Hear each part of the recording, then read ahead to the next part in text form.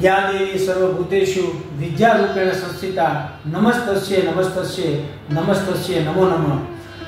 વિદ્યાર્થી મિત્રો, તમારે આગળ વધવું છે, સફળ થવું છે, તો પાંચ આ જે સોનેરી મંત્રો આપું છું. એ દરરોજ માટે, એને કાયમી માટે તમારા જીવનમાં રહેશો, એટલે તમે ખૂબ આગળ વધશો, એની મારી ગેરંટી છે. પહેલું, દરરોજ માટે પાંચ મિનિટ સૂર્ય નમસ્કાર કરવા. સૂર્ય નમસ્કાર કરવાથી આપણા શરીરની અંદર જે આળસ હોય એ દૂર થાય અને શરીરમાં એક નવી ઉર્જાનો આપણો સ્ત્રોત બને છે.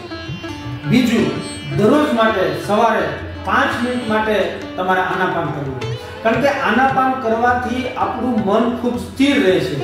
ઘણા વિદ્યાર્થીના પ્રશ્નો મારી પાસે હતા કે સાહેબ, હું વાંચવા બેસું છું, વાંચું છું, આખો ફકરો વાંચું. પણ એમ છતાંય પછી હું વાંચું મને યાદ નથી રહેતું. વિદ્યાર્થી મિત્રો, આના કામ તમે દરરોજ માટે પાંચ મિનિટ કરશો, તમારું મન એકાગ્ર થશે અને તમે બરાબર તમારું કોન્સન્ટ્રેશન એ તમારા બુકની અંદર કે તમે જે કામ કરશો એની અંદર રહેશે અને એમાં તમને ખૂબ સફળતા મળશે. ત્રીજું, દરરોજ માટે સવારે ભગવદ્ ગીતાનો એક શ્લોક ફરજિયાત વાંચવો જો કંઠસ્થ થાય તો ખૂબ સારી વાત છે, પણ કંઠસ્થ ન થાય તો પણ એક શ્લોક દરરોજ માટે વાંચો, જેનાથી આપણામાં એક નવી ઓરા, એક નવી પોઝિટિવિટી આવશે.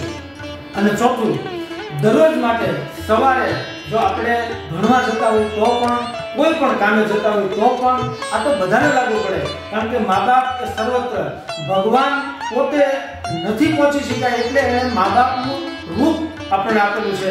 એટલે દરરોજ સવારે મા બાપને ફરજિયાત પગે લાગીને નીકળવું, કોઈ પણ કામ કરવા જતા હોઈએ અને એની સાથે સાથે મા બાપને ભેટીને નીકળવું. મા બાપને હક કરીને નીકળવું. એનું કારણ છે, મા બાપને પગે લાગવાથી આપણામાં જે એક નવી ઓરાને ઊર્જા જે આવે છે, એ મિત્રો, આપણને બધાને કદાચ ખ્યાલ છે કે ઓક્સિજન વગર ચાલતું નથી. કોરોના કાળમાં આપણે આ શીખી ગયા. પણ ઓક્સિજન આપણને દેખાતો નથી એમ મા બાપના આશીર્વાદ છે. મા બાપને તમે ભેટશો તો એની અંદર જે આખી નવી ઊર્જા આવશે અને એ આશીર્વાદરૂપ બનશે. તમે જીવનમાં ક્યારેય પાછળ નહીં.